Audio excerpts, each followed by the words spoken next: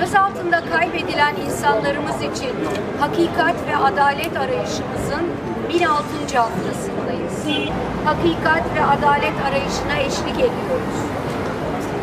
31 yaşındaki Edip Aksoy, Diyarbakır'da tütün ticareti yaparak ailesinin geçimini sağlıyordu.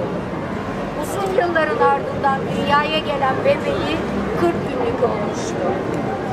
Aksoy 7 Haziran 1995 sabahında bebeğiyle vakit geçirdikten sonra Melih Ahmet'teki dükkanına gitmek üzere evden ayrıldaki Orhan Cingöz'le buluştu. Birlikte saat 12 civarında Diyarbakır Dağ Kapı'daki Yeşil Çınar Çay Bahçesi'ne gittiler. Burada arkadaşları ile birlikte oturup sohbet ederken çay bahçesinin önünde beyaz Toros marka bir araç durdu. Araçtan inen sivil giyimli, silahlı ve telsizli üç kişi yanlarına geldi. Kendilerini polis olarak tanıtan bu kişiler Edip Aksoy ve Orhan Cingöz'ün kimliklerini alıp ifadeniz var, karakola gideceğiz diyerek onları Beyaz Toros'la götürdüler. Gözaltına alındıklarını ve Beyaz Toros'la götürüldüklerini gören çok sayıda tanık vardı. Ancak bu yaşananlar inkar edildi. Ailelerin ve İnsan Hakları Derneği'nin bugüne kadar ilgili kurumlara yaptığı tüm başvurular sonuçsuz bırakıldı. Edip Aksoy ve Orhan Cingöz'den bir daha haber alınamadı. Olaydan 10 yıl sonra 2005 yılında JITEM elemanı Abdülkadir Aygan'ın itirafları basına yansıdı.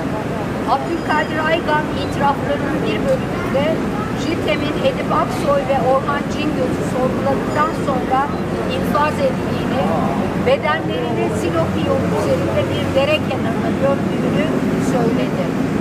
Abdülkadir Aygan olay yerini detaylarıyla tarif etti.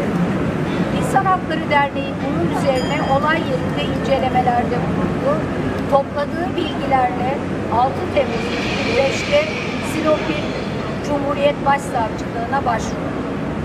Savcılık Abdülkadir Aydan'ın söz ettiği yerde 28 Nisan 1995'te gömülen iki kişiye ait ceset bulunduğunu ve belediye aracılığıyla kimsesizler mezarlığına yeniden defnedildiklerini tespit etti.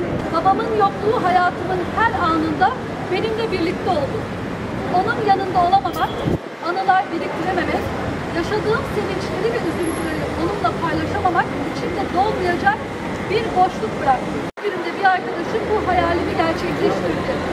Fotomontajla babamın kucağında olmamı sağladı. Ne kadar acı değil mi? Bu benim hayatım boyunca aldığım en anlamlı, en güzel doğum günü hediyesi oldu. Aynı fotoğraf karesinde olmanın verdiği mutluluğu tarif edemem. Ama babamı sadece fotoğraflarda görmek, nerede olduğunu, başına neler geldiğini bilememek de bir o kadar acı, derin bir yara. Bu acıyı yaşayan herkesin yüreği, talebi gibi adalet. Babamın gözaltında alındığı o gün, hayatı durduran o an, bir çocuğun hayatından koparılan bir babanın hikayesi aslında hepimizin hikayesi. Babasız büyümenin getirdiği zorluklar ve acılarla başa çıkmaya çalışırken aynı zamanda güçlü ve kararlı olmayı öğrendi.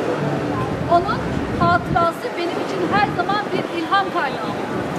Babamın kaybolması beni adalet arayışında daha da kararlı kıldı ve bu mücadelede yalnız olmadığımı bilmek bana güç verdi. Hasan Ocak